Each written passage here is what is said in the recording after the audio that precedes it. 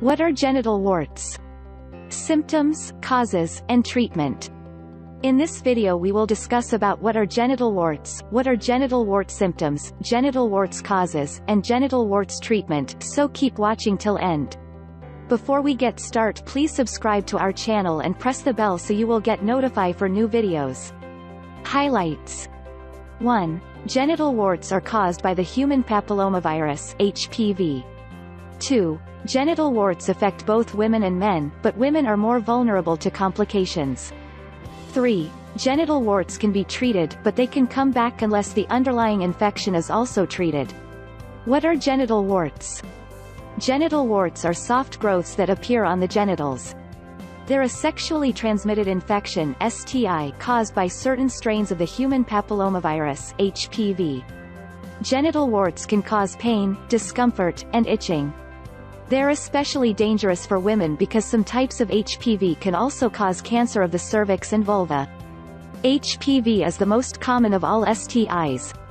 Men and women who are sexually active are vulnerable to complications of HPV, including genital warts. Treatment is key in managing this infection. What are the symptoms of genital warts? Genital warts are transmitted through sexual activity, including oral, vaginal, and anal sex. You may not start to develop warts for several weeks or months after infection. Genital warts are not always visible to the human eye. They may be very small and the color of the skin are slightly darker. The top of the growths may resemble a cauliflower and may feel smooth or slightly bumpy to the touch. They may occur as a cluster of warts, or just one wart. Genital warts on males may appear on the following areas penis, scrotum, groin, thighs, inside or around the anus. Genital warts in females may appear on the following area.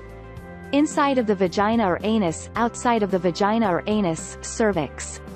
Genital warts may also appear on the lips, mouth, tongue, or throat of a person who has had oral sexual contact with an infected person.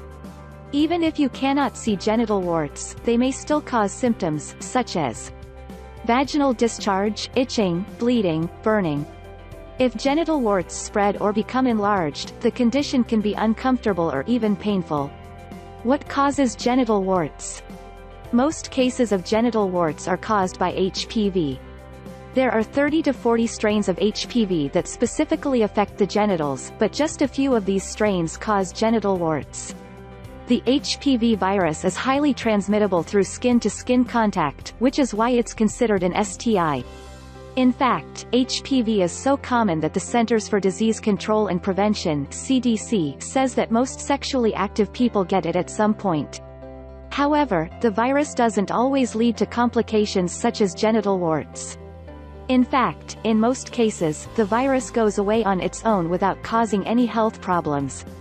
Genital warts are caused by strains of HPV that differ from the strains that cause warts on your hands or other parts of the body. A wart can spread from someone's hand to the genitals, and vice versa. Risk factors for genital warts. Any sexually active person is at risk of getting HPV. However, genital warts are more common for people who are under the age of 30, smoke, have a weakened immune system, have a history of child abuse, children of a mother who had the virus during childbirth. What are other possible complications of HPV? HPV is the main cause of cancer in the cervix. It can also cause precancerous changes to the cells of the cervix, which is called dysplasia. Other types of HPV may also cause cancer of the vulva, which are the external genital organs of women. They can also cause penile and anal cancer. How are genital warts diagnosed? To diagnose this condition, your doctor will ask questions about your health and sexual history. This includes symptoms you've experienced and any times you've engaged in unprotected sex, including oral sex.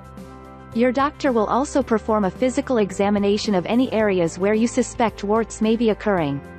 For women only, because warts can occur deep inside a woman's body, your doctor may need to do a pelvic examination.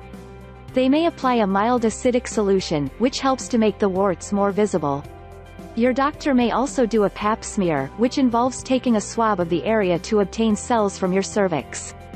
These cells can then be tested for the presence of HPV. Certain types of HPV may cause abnormal results on a pap smear, which may indicate precancerous changes. If your doctor detects these abnormalities, you may need more frequent screenings to monitor any changes. If you're a woman and concerned that you may have contracted a form of HPV known to cause cervical cancer, your doctor can perform a DNA test.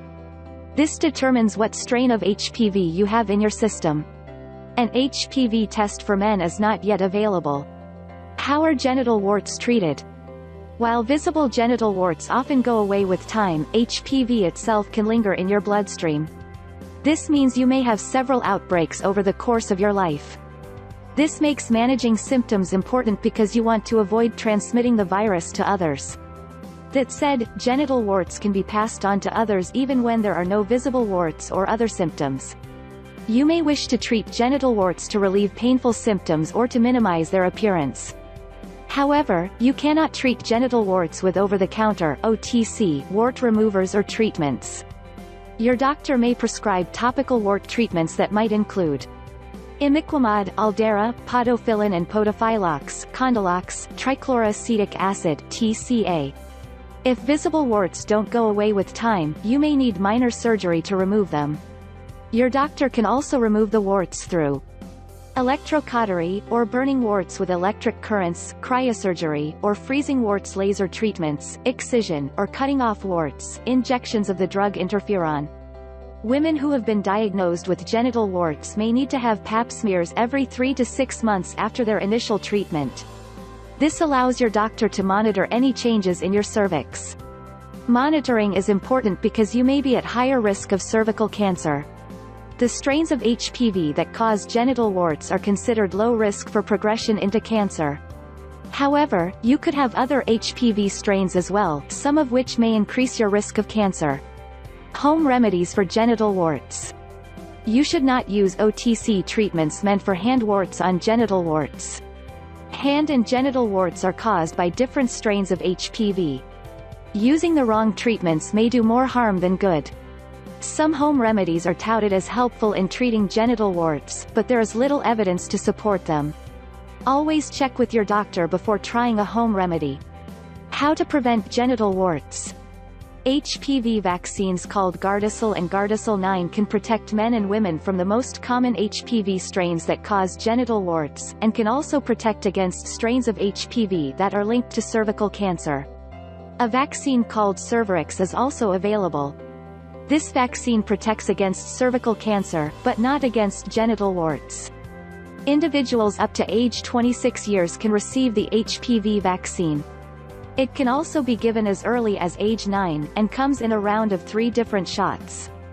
Both types of vaccine should be given before the person becomes sexually active, as they're most effective before a person is exposed to HPV. Using protection every time you have sex can also reduce your risk of contracting genital warts. This can mean using a condom or a dental dam. Coping and outlook. Genital warts are a complication of HPV infection that's common and treatable. They can disappear over time, but treatment is essential in preventing their return and possible complications. If you think you have genital warts, talk to your doctor. They can determine if you have warts and what your best treatment options are. In addition, it's important to talk to your sexual partner. This may sound difficult, but being open about your condition can help you protect your partner from also getting an HPV infection and genital warts. This is all what you need to know about genital warts. Subscribe our channel for more health and lifestyle videos. Thanks for watching.